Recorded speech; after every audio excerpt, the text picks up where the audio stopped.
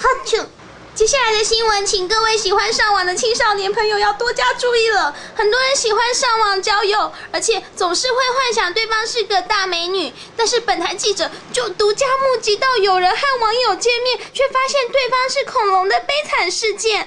我们将画面交给位在西门町的特派记者天宝宝。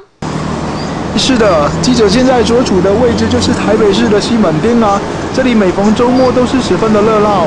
很多青少年喜欢相约到这边逛街、写拼、看电影、远交和会见网友啊。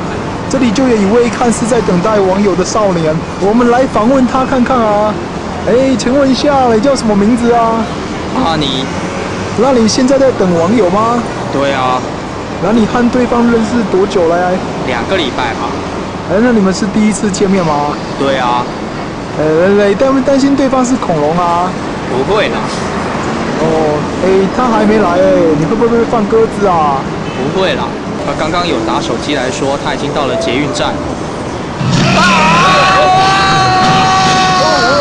天哪！哦，我的天啊！阿磊他被撞掉了！哦，你这个混蛋！哦，天啊，真的是恐龙哎，这真是太惨了！我要先要跑了，后面带回棚内。